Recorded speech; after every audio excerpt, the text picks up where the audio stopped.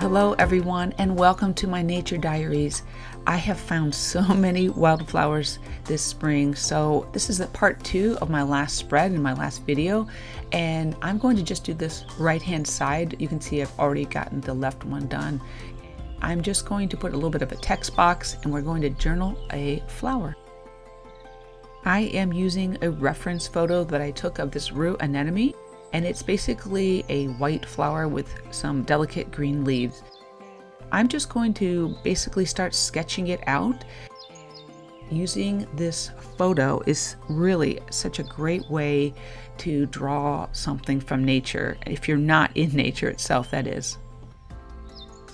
Again, the reason I like to use a reference photo is it gives me so many interesting perspectives and angles of the flowers it's just a way to help it to look more realistic looking maybe. Even though this is an illustration I do like the idea of using a photo as a guideline. I'm trying to focus on simple shapes and simplify the photo. Also what I do is if I don't have enough flowers in the photo I like to just take some of the petals and and flower pictures again and, and repeat them in the drawing I am using a new fountain pen with an extra fine point and it also has waterproof ink in this so I can watercolor later. I'm going to, contrary to my last video, I'm going to ink the sketch in first and then I'm going to paint over it. And I wanted to show you that of course you can do it both ways. You don't have to do one or the other, whatever feels more comfortable to you.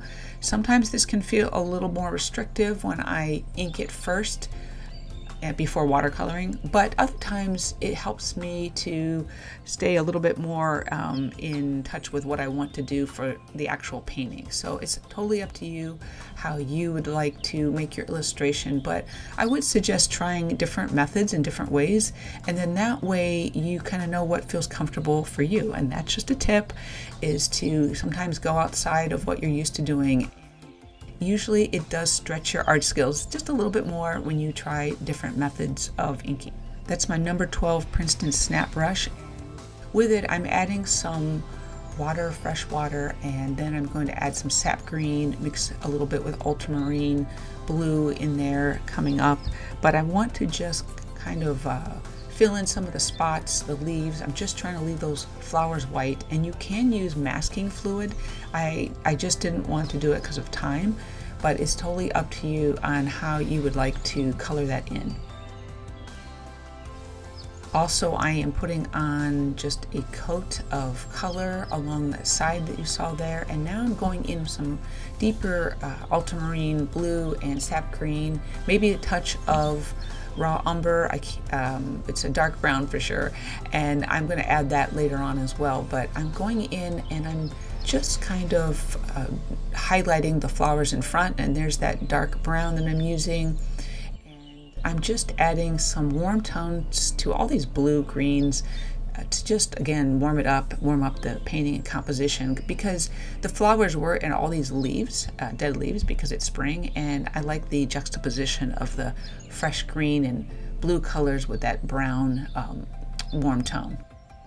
And then just taking a brighter green, I'm going over and highlighting those stems or coloring them in. And I'm going to go ahead and use that same color here soon to just do the leaves it's actually just kind of a springy green and I'm just brightening it up so it doesn't get lost in the background, of course. For the white petals of any flower, I like to use this silver metallic color from, this is Kuretake Starry Colors palette. It's totally up to you. I'm using artistic license here to add a little bit. It really, it's very, very subtle, so you can't tell unless you really are picking up the uh, nature journal and kind of giving it a bit of a tilt. But I really feel like it just adds a little bit more texture and interest to this flower illustration. The centers of these flowers do have a yellowish green um, center. So I'm just going to go ahead and finish up the flowers by doing that. And I'm using a really fine tip brush just to add some real subtle and light color. And that pretty much takes care of this illustration. I'll go back and tweak a few things, but I'm going to go ahead now and I'm going to add the lines for all my text.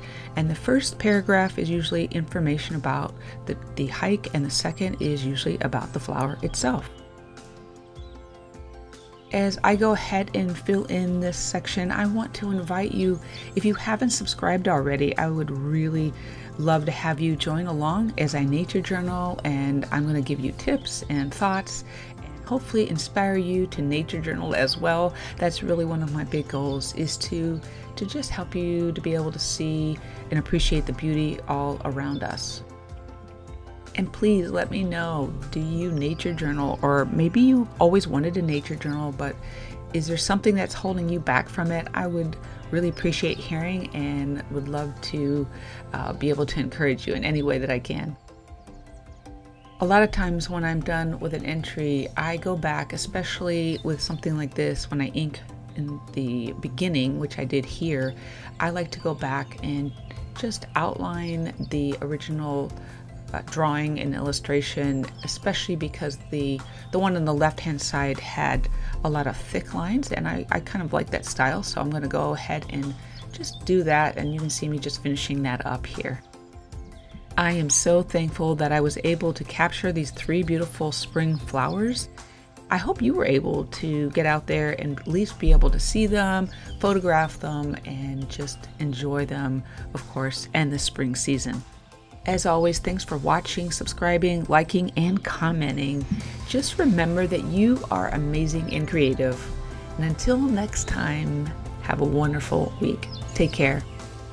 Bye.